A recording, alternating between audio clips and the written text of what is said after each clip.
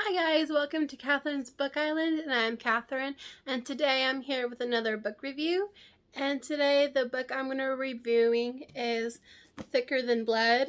But before I get into the book review there are a few things I want to talk to you guys about.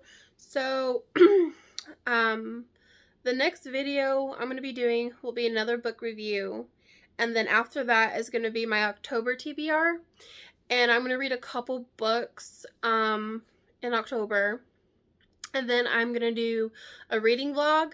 Um, I think I might do three books in my reading vlog because I just want to try and see how I do. And then um, we are going to be doing um, all vampire books one month and then another month is going to be like a serial killer um like serial killer books that have to do with serial killers. And then I think another one um, I'm gonna do is like a missing persons one where the books are about like missing people. Um, I think I'm gonna do that. And if I come up with any other ones, I'll let you guys know. But those are the main ones I'm thinking about doing.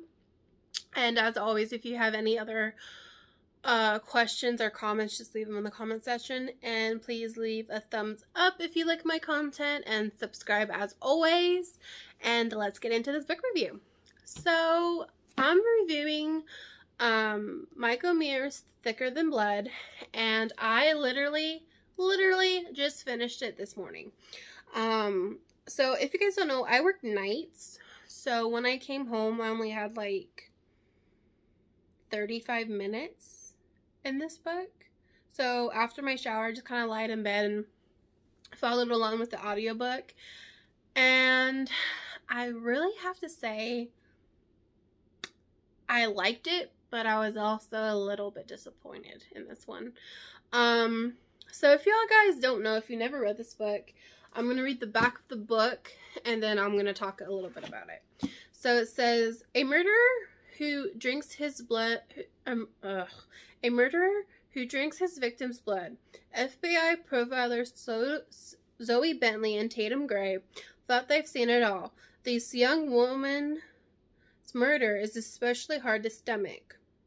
They didn't expect to work this case, but vampirism aside, the murderer's M.O. is identical of that of Rod Glover, the serial killer who's been pursuing Zoe since childhood. Forensics revealed that the murder to be his work, but not his alone.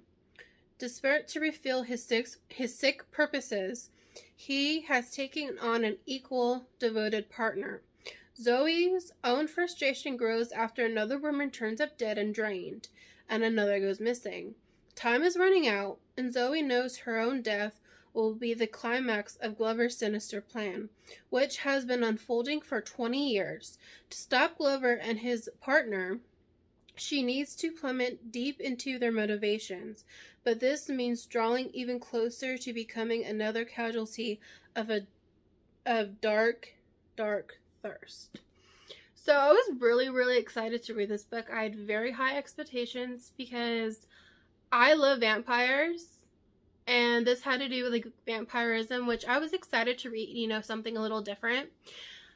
Um I liked a lot of things in this book, but I also disliked a lot of things in this book. For instance, the uh, story was good. I love the story. Um, some of the chapters kind of just drew out a little bit. Um, I feel like some of it was just kind of like filler, if you know what I'm saying. Like, it didn't really necessarily tie into the story. And what I liked about this book in particular, instead of it just being, ooh, sorry, I hit my tripod, but instead of it being just like Zoe and Tatum, um, it's an, um, a detective named McDonald, um, who helps them with this with her, or helps them with her case that she's working, which is this case. And this takes place in Chicago. And Rod Glover, after moving away from where Zoe grew up, he moved to um, Chicago. And he in this book, he is not doing great.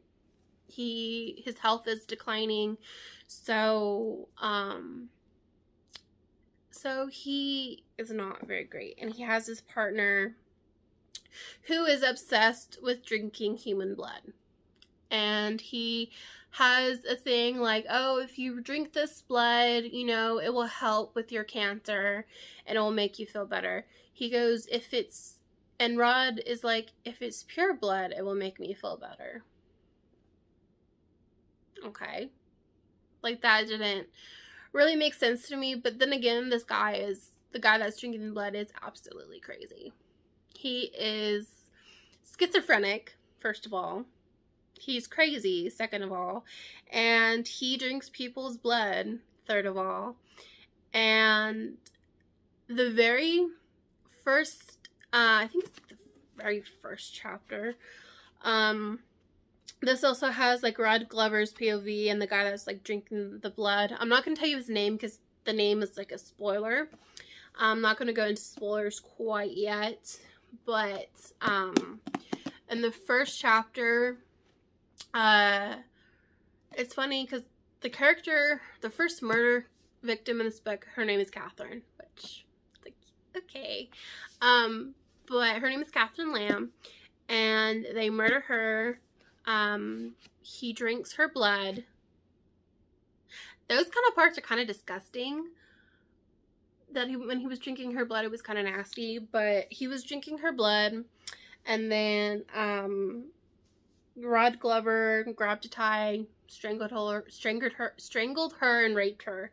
Um, it didn't the it didn't go into detail with the rape. You just knew what he was doing just by the like the by the like the way the writer wrote it. You could tell what he was doing, and then the next morning, um, of course, they called uh, the father founder called 911. Zoe and Tatum showed up and was uh, talking to the lead detective, which is McDonald, and he's like, "We just want to look at the crime scene. We think it's this guy named Rod Glover. We need to take a look." And she's like, "No, like that's not going to happen."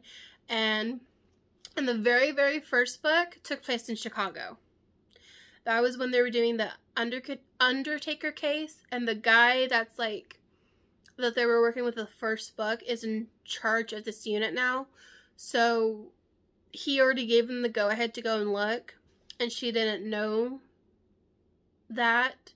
So anyway, they finally get to go in and look, and they determine that it did have a lot of his MO, but it also didn't.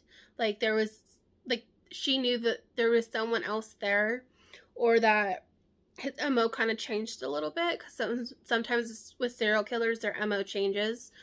Um, but not not necessarily all of the time. Um, but she just had a feeling, so they decided that they were gonna stay and help.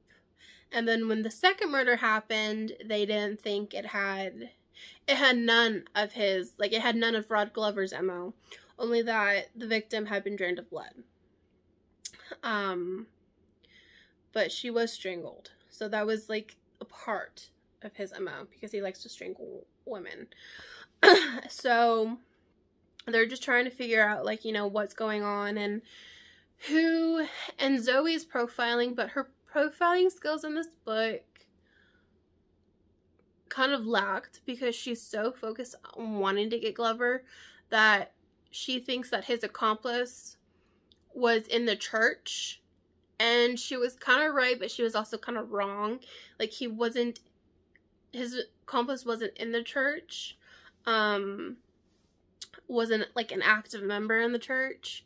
So they're trying to figure all that stuff out and her profiling skills were kind of laxed because she is so honed in on catching Glover that everything else is like that's like her main focus and um, she makes a couple mistakes which end up losing which end up killing someone um, but that person was already dead when they found her, like a few days or maybe like a day or something like that. But she felt really guilty. Um, that's as much as I'm going to get into with this book because I kind of just I want you guys to be surprised with this. Um, I'm going to give this book I want to say 3 stars because some of it like I said, it just felt like really like some of these chapters felt like filler and some of it didn't feel like it fit the story. But I still like it, but I still really liked it because it had to do with vampirism and um, Mike Omer is Mike Omer is like like one of my favorite authors, so I want to look for more books that he's written to read. Sorry, it's like I'm hearing something going off and I don't know what that is, but it's outside. But um I honestly, if you guys like vampires, I would still recommend this book. Um this one is a little bit slower and with O'Donnell, like she had like a lot of family stuff going on and a lot of like department drama, which I don't know if the story needed it personally, but I kind of liked um, that they introduced a new character to the book instead of just Zoe Tatum and Andrea and like all those other characters. Like he added another character to this book. Um, but yeah, I, I honestly enjoyed it. I just felt like there was just a lot to the chapters that were just filler. Didn't really or like they kind of stalled on the investigation a little bit, a little bit too long, kind of. Um, but other than that, I really enjoyed it, so I gave it three stars. So my next book that you I got that you guys are going to see me reading is In My Dreams I Hold a Knife. And this one, so I actually watch a lot of other people's reading vlogs just to kind of get ideas on like what to read. And this one, um, Gabby Reed, she read this one and she says it's a good one. Um, so I'm going to read it. I've kind of already started it. I'm only like three chapters into this book right now. But, um, so this one is about, I'll just read the back real quick and then we'll so it says 10 years after graduation, Jessica Miller has planned her trip to return to the Southern Elite University down to the envious whispers that are sure to follow in her wake. Everyone is going to see the girl she wants them to see. Confident, beautiful, indifferent, not the girl she was when she left campus. Back when Heather Shelby's murder fractured everything, including the tight bond linking the six friends she'd been close to since her freshman year. But not everyone is ready to move on. Not everyone left 10 years ago and now everyone can let Heather's murder go unsolved. Someone is determined to trap the real killer, to make the guilty pay. When the six friends are reunited, they will be forced to confront what happened that night and the year's worth of secrets each of them would do anything to keep hidden. And so this is the book I'm going to be reading. And this is going to be part of my September TBR. And then this is going to be the next video. And then the following video is going to be my October TBR. So you can see what books I'll be reading. And then two of those books I'm going to do a reading vlog for. Um, so I have to pick which ones I want to do. So as always, guys, have a safe day, night, or morning. And have a great day. Bye.